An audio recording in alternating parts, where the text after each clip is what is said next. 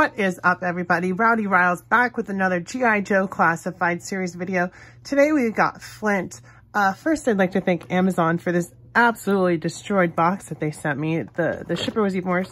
The tape is already off on that, so that's cool. They already halfway opened it for me. So yeah, let's take a look at the box real quick. Well, the damaged trash around my figure. So we got Flint there with his accessories. That's cool. G.I. Joe Classified Series. We got the artwork there. His beret, his shotgun, his handgun. Uh, the side, more artwork. Looks cool. Looks great. Flint there on the side. Um, it's the little panorama of all the characters on the back. Um, not panorama, but splash page with all these figures in the line. Uh, legal stuff, Hasbro down there. So there's that file card on this side. Uh, you can go on the website, check those out if you want to. Number 26 in the classified series. Uh, cool symbols. They got like a chess piece, some kind of throwing thing, some bullets, Flint up there at the top. And yeah, there he is once again. All that being said, let's get this bad boy open. So we've got Flint out of the box now. You can see I've got his beret on. He's holding a shotgun. He's got his hand on his pistol.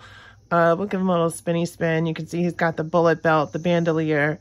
Um, it's a lot of reuse of Duke on the top portion and the bottom, I believe, as well. We'll get go over that in a second, but he's cool. I love having more Joes. It's been Cobra all the time, basically. I mean, I love Cobra, but Joes are the best, obviously.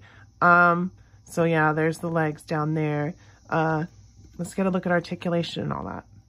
Before we go over articulation, we're going to take a look at the accessories real quick. As far as accessories go, Flint is pretty light on them for your G.I. Joe Classified series, but he does have three.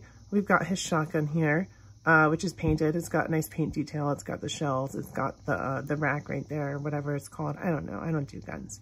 Um, and then it also opens to a chamber that you can load a shell in. So that's cool. Put that there for a second. Then we've got his beret, which fits on him pretty well. You just put it on there and it sits. It doesn't come off. It doesn't pop off, um, which is cool. And then I wanted to show you guys this. We've got his pistol, which he can actually pull out with the articulation, which is really cool. Um, I think it's just the Duke gun, uh, just black. And you can also put it back in there with the articulation if you want to, if, there you go. So that's pretty cool. And now we're going to go over the articulation. So we've got that um, head on its ball peg. I don't believe it's the double barbell like they've been doing for the Black Series, but it does have that neck on the ball peg as well. So you get a lot of movement there. Uh, like I said, it looks like the Duke body. I've got Duke over here. We'll look at that in a second, but I think this is new, this whole thing. But his arms, they go out. Ooh, that was a click. 90 degrees uh, double, double elbows, which go in over 90 degrees, so that's good. Uh, I believe there's ab crunch in there. Yeah, I just heard it. So there's a little bit of that. It's just under this, so it's kind of blocked, so it's not much. We got waist. His legs come out about this far. Belts block it. Uh, thigh cut. Double knee. Kicks his own butt easily.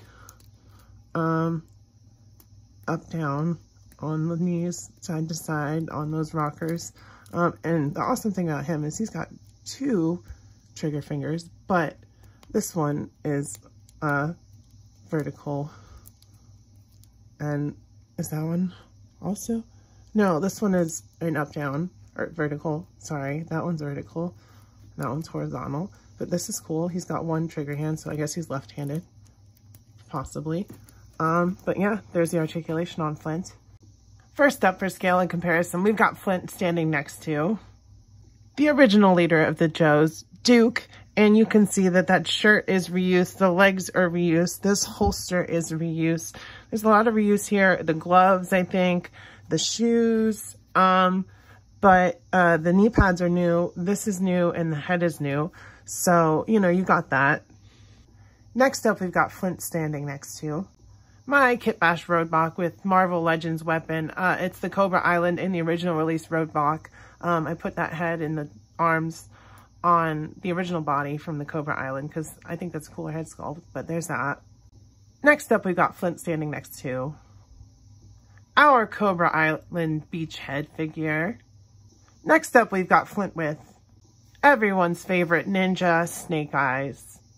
And lastly, just because I have all the Joes that are out right now, at least as far as the ones that I've got in hand, I've got Lady Jaye coming, which I'll be filming the video for probably tomorrow. But we've also have Gung Ho and Scarlett. There you have it, guys. We've got Flint unboxed with the rest of his Joes, which I'd say the team is shaping up in the classified series. So that's awesome. Like I said, also, I've got Lady Jaye coming in the mail, so she should be here tomorrow. Hopefully less damaged because it's also from Amazon. But at least the figure's okay because that's what really matters, right? Um, so if you guys like this video, let me know down below. Like the video, comment down below, subscribe, all that good stuff. Um, I'll say he was totally worth it because he was totally worth it to me. And I'll see you guys next time. Bye-bye.